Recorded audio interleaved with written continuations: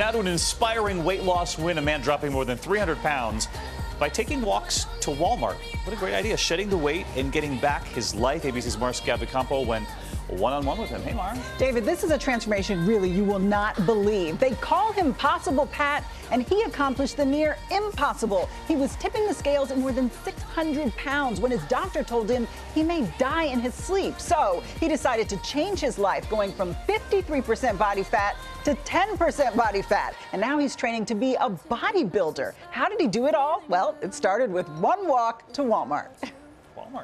Ever since he was little, Pat Brocco was always known as the big kid. My nickname was Fat Pat, or Fatty Patty, or Pat Steaks. And until three years ago, at 28 years old, he weighed in at a shocking 605 pounds.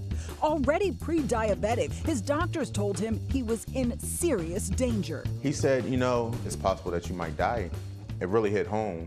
That's when Pat went home, looked at himself in the mirror, and took this photo. My stomach was down to my thighs, my chest was hanging down here. I was disgusted.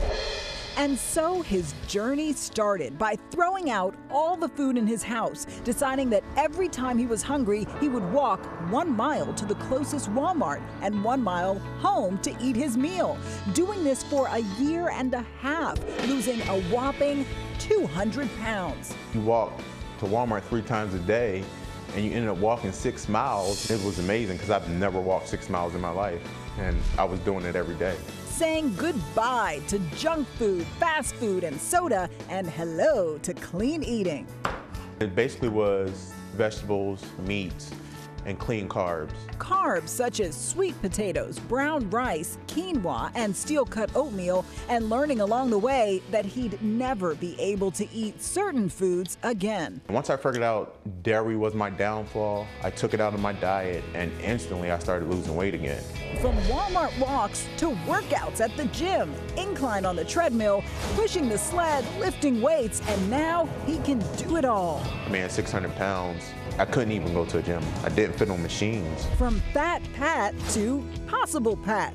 330 pounds lighter, not only changing his own life, but encouraging his one year old son as well. And set an example for my son. So he, he can come up and be possible Pat too. Good job!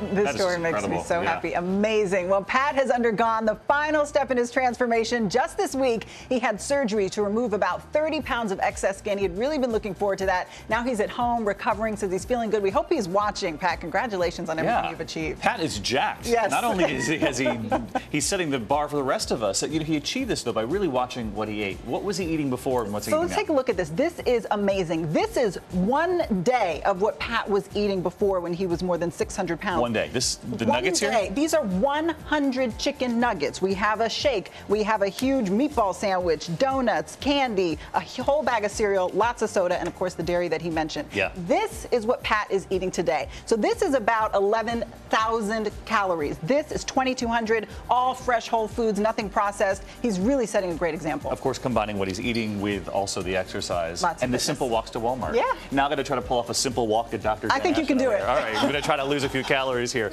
We're joined now by our contributor, Dr. Jen Ashton, who is board certified in obesity medicine. Dr. Ashton, great to see you. How are you, David? Uh, I made the walk. You uh, did Lost a few calories well. right there. Uh, anyway, this is just incredible. And you heard that he watched what he ate. How much of that is uh, crucial to losing any kind of weight. A large part of yeah. it. In the nutrition world, we call this the energy balance. It's the calories we put in. It's not just about what we're eating, but how much. And I'm going to break some news here, David. Right. You know what the best diet is that data has shown? Best.